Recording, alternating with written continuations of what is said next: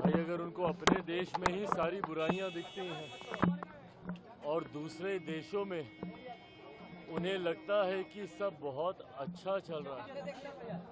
और विदेश में जाकर, जिस तरीके से भारत की बुराई करने की एक आदत राहुल जी की बन गई है, ये कहीं ना कहीं गलत राजनीति की परंपरा की शुरुआत है आपसी मतभेद ज़रूर हो सकते हैं और सत्ता पक्ष विपक्ष में हमेशा से रहे।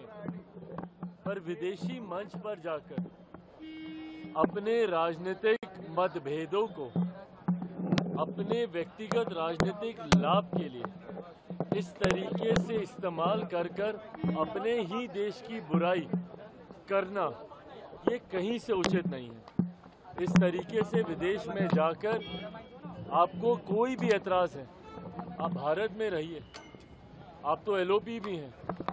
आप सरकार के समक्ष अपने सुझाव भी रख सकते हैं, अपनी चिंताएँ भी रख सकते हैं। पर इस तरीके से दूसरे देश में जाकर भारत की बुराई करना कहीं सोचत नहीं है।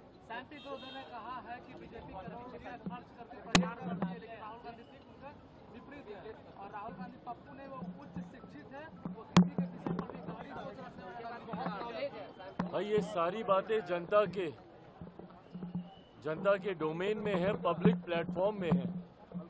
उसके बाद भी अगर जनता ने तीसरी बार लगातार प्रधानमंत्री नरेंद्र मोदी जी के नेतृत्व में एनडीए सरकार को चुना है तो कहीं ना कहीं ये बात तो स्पष्ट है ना कि सैम पित्रोदा जी जितने भी गुणों का उल्लेख कर रहे हैं राहुल गांधी जी को लेकर कम से कम भारत की जनता तो उसे स्वीकार नहीं करती।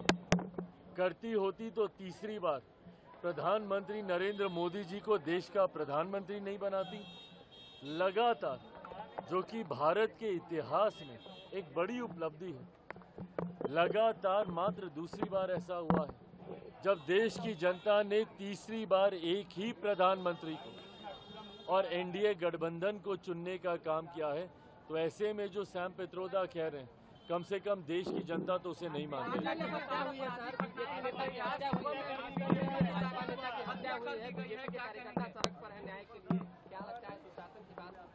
है है देखिए ये सब चिंता का विषय तो है ही।